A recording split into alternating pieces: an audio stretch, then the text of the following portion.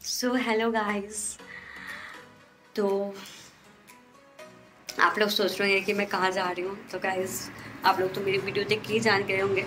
अभी इससे पहले जो मैंने वीडियो डाला हुआ है हॉल का एंड मेकअप लुक का तो बस उसी दिन का ये वीडियो है। तो मैंने बैक टू बैक वीडियो बना लिया क्योंकि मतलब मुझे टाइम नहीं मिलता है। और अभी जस्ट मैं सोची कि चलो जल्दी जल्दी मैं सारा मतलब आउटफिट खोलती हूँ। उससे पहले मैं आप लोगों के साथ ब्लॉग भी स्टार्ट कर देती हूँ। एंड ये देखिए सारा मेरा मेकअप जो मैंने मेकअप लुक किया है अभी उसका।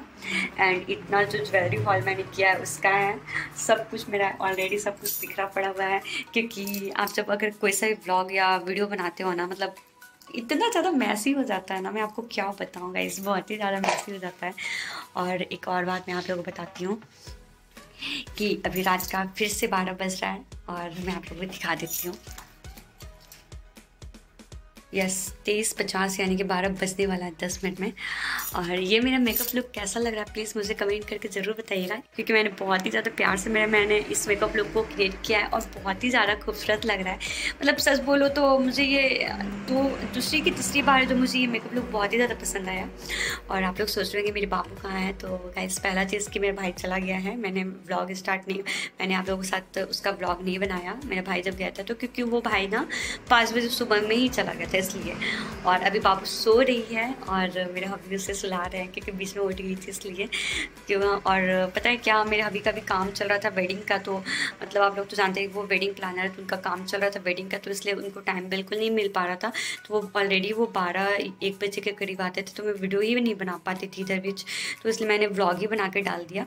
सो आज उनका काम नहीं था तो मैं सोची कि चलो इस मतलब होता ना कि मौके का फ़ायदा उठा लेना। तो बस मैंने मौके का फ़ायदा उठाया, और आज मैंने ये दो वीडियो शूट कर लिया, एक मेकअप लुक का एंड हॉल का और मेरे बाबू बीच में उठ गई थी बट हबी ने उसे थोड़ा सा सुला लिया मतलब आ, मेरा हेल्प कर दी है तो मुझे अच्छा लगा चलो। वरना मैं सोची ना कि ओ माय गॉड हॉल के बीच में ही मुझे उठ के जाना पड़ेगा और फिर मेरा हॉल गया बेकार मेरा हॉल नहीं बन पाएगा उसका ज्वेलरी हॉल का।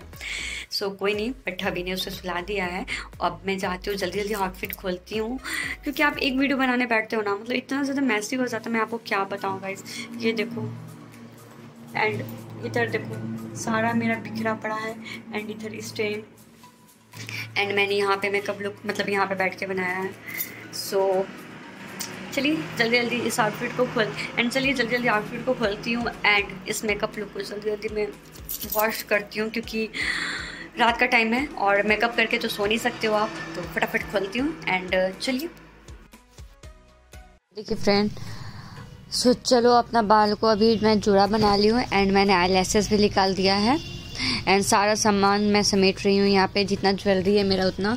और पता है क्या जब वीडियो बनाने आप बैठो ना तो उसके बाद जब आप वीडियो बना के आप हटते हो ना मतलब सारा रूम मैसी हो जाता है। मतलब सामान इधर उधर हो जाता है पता नहीं चलता मैं क्या क्या रखूँ।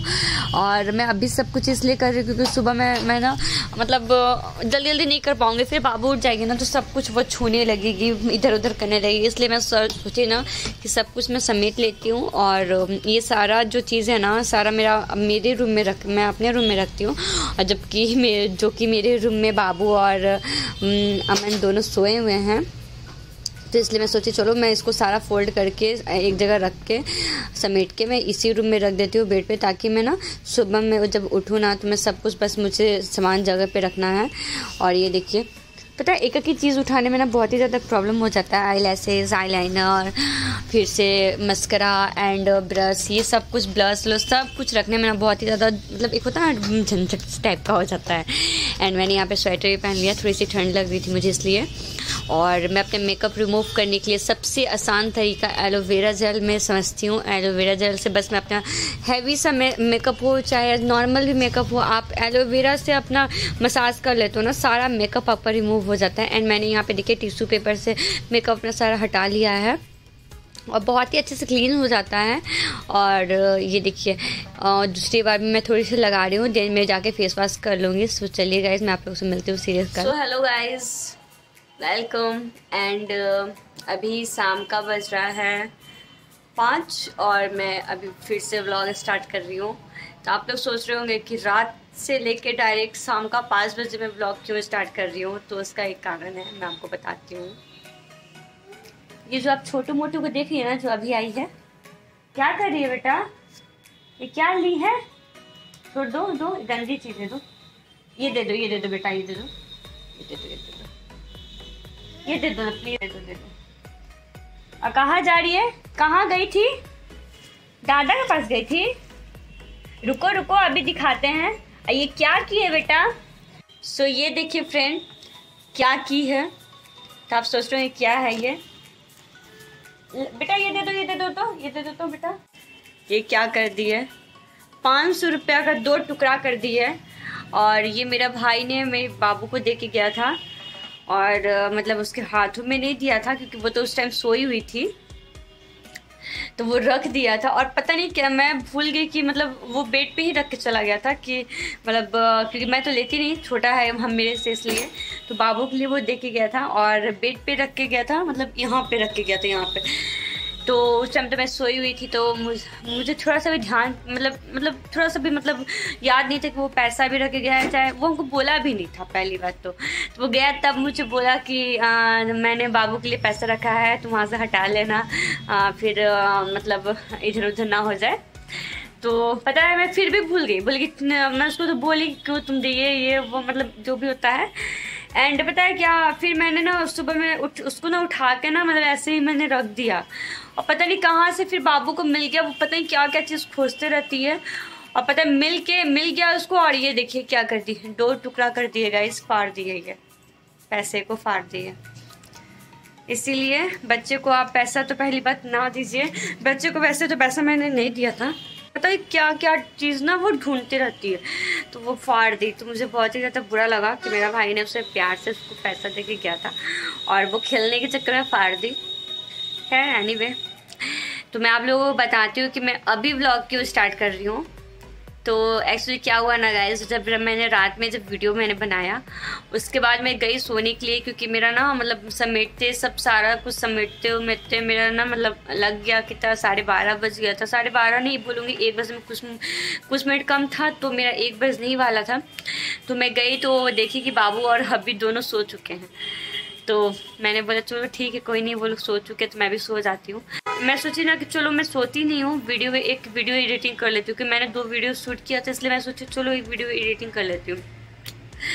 मैं ना चुपचाप से बैठ के ना अपने एडिटिंग कर रही थी वहीं पर, ताकि बाबू उठ जाए तो मैं उसको ले भी लूँ। पता है, मैं वीडियो एडिटिंग कर रही थी, तब उसके उसके बीच में बाबू उठ गई। और फिर मैंने उसको ले लिया, उसको फिर वो बीच बीच में रात में उठती है दूध दूध पीने के लिए। तो मैंने उसको दूध पिला दिया, मैं सोची, चलो, वो सो जाएगी। आपको पता है, डेढ़ बजे रात से वो लड़की जो उठी है ना छः बजे सुबह में सोई है गाइस छः बजे सुबह में है। मतलब मैं क्या आपको बताऊँ, कल मैं बहुत ही मतलब मैं बहुत ही ज़्यादा परेशान हो गई थी, बहुत ही ज़्यादा मैं परेशान हो गई थी। अब वो बता नहीं सकते मतलब इतना ज़्यादा परेशान हो गई थी ना मतलब एक तो मुझे नींद भी आ रहा था बट फिर भी मैंने सोचा, नहीं, मुझे एडिटिंग करनी है, क्योंकि मुझे दिन में बिल्कुल टाइम नहीं मिल पाता मतलब बिल्कुल बोलूँगी तो बिल्कुल मुझे टाइम नहीं मिल पाता है। कैसे जैसे तो मैंने, मैं एडिटिंग कर लेती हूँ बट वॉइस ओवर जो बात होता है ना, कि मुझे वॉइस ओवर करना उस टाइम तो मुझे बहुत ही ज़्यादा प्रॉब्लम हो जाता है, क्योंकि मतलब एक होता है ना, उस टाइम आपको अकेले टाइम चाहिए, और सारा प्रोडक्ट मेरे पास रहता है, मुझे इस, इसका नेम बताना पड़ता है, इसलिए। तो पता है, मैं सोची भी कि मैं आप लोगों को दिखाती हूँ, उसका क्लिप लेती हूँ बट गुस्सा भी आ रहा था, नींद भी आ रही थी और गुस्सा भी आ रहा था कि मतलब ये क्या कर रही है, ये सुबह से मतलब फिर मुझे लगा कि चलो सो मतलब सो जाएगी। और इसका ये पर डे का मतलब इसका आदत हो गया, रात में ही उठना। और बट सो जाती थी बट कल ऐसा हुआ ना कि कल डेढ़ बजे से जो मतलब वो जगी ना छः बजे सुबह में सोई है। और सुबह में छः बजे सोई मैं सो, सोची कि चलो मैं सो जाती हूँ।